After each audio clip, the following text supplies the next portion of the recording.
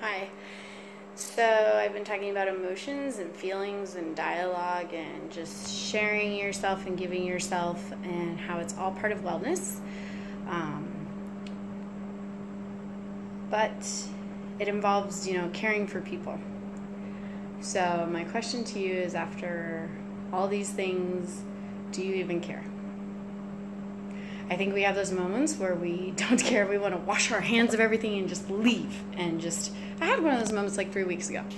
Um, but deep down, not on the surface, not when you're in a high, intense emotional state, do you even care?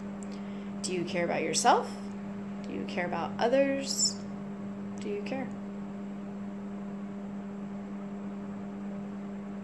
And if you do care, are you showing it? are you able to express and experience.